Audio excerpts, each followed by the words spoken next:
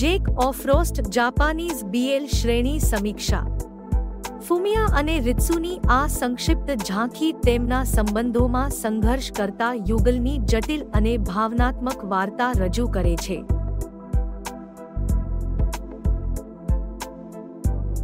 આ કથા એક ઉગ્ર દલીલના પરિણામની શોધ કરે છે જે છૂટાછેડાની દરખાસ્ત તરફ દોરી જાય છે. ત્યારબાદ એક દુઃખદ અકસ્માત થાય છે જે તેમાંથી એકને સ્મૃતિ ભ્રંશથી પીડાય છે.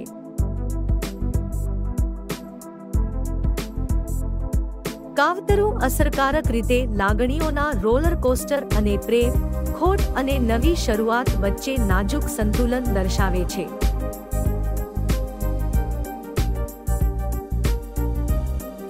અને રિત્સુ વચ્ચેની ગતિશીલતાને પ્રમાણિક અને ઊંડાણપૂર્વક દર્શાવવામાં આવી છે. તેના તાજેતરના બ્રેકઅપ છતાં તેના આઘાતગ્રસ્ત ભૂતપૂર્વ બોયફ્રેન્ડની સંભાળ રાખવાની ફુમિયાની પ્રતિબદ્ધતા તેના છુપાયેલા પ્રેમ અને કરુણાને દર્શાવે છે. રિત્સુના સ્મૃતિભ્રંશનો સાક્ષાત્કાર વાર્તામાં એક અંધારી વળાંક ઉમેરે છે.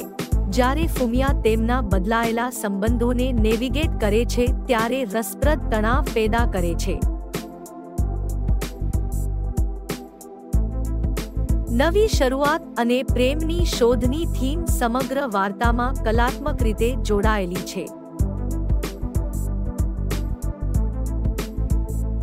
તેમના ભૂતકાળ વિશે સત્ય છુપાવવા અને નજીકના મિત્ર સાથે રમવાનો ફુમિયાનો નિર્ણય નવી શરૂઆત માટે પરવાનગી આપે છે, જે બંને પાત્રોને તેમના પ્રારંભિક સંબંધોના આનંદનો ફરીથી અનુભવ કરવાની મંજૂરી આપે છે.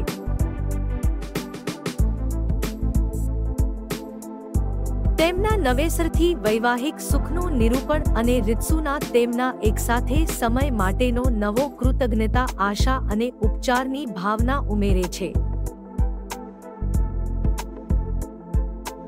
વાર્તા તેમના મુશ્કેલીભર્યા ઇતિહાસના વિલંબિત પરિણામોને પણ શોધે છે કારણ કે ફુમિયા તેની વિરોધાભાસી લાગણીઓ સાથે સંઘર્ષ કરે છે.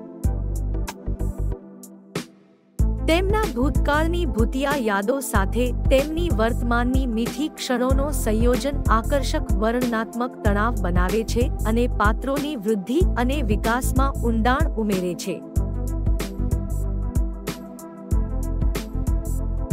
એકંદરે, ફુમિયા અને રિત્સુ એ એક હૃદયસ્પર્શી અને વિચાર પ્રેરક વાર્તા છે જે સંબંધોની જટિલતાઓ, નુકસાન અને બીજી તકોની શોધ કરે છે.